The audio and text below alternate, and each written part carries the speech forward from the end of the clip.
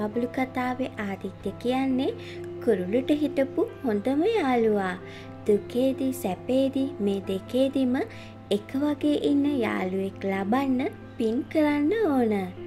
ආදිත්‍ය සහ කුරුලුගේ හිතවත්කම හරිම ලස්සන එකක්.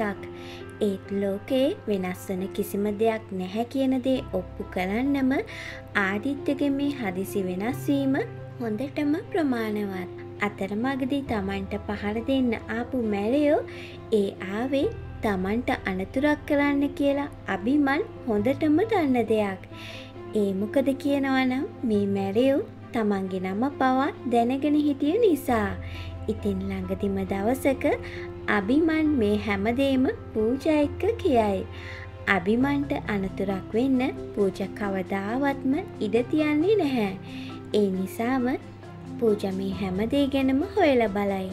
පූජට පාතාලයත් එක්ක ලොකු සම්බන්ධයක් තියෙන නිසාම මේ වැඩේ බාර දුන්නේ ආදිත්‍ය කියලා දැනගන්න එක එච්චර අමාරු දෙයක් වෙන එකක් නැහැ.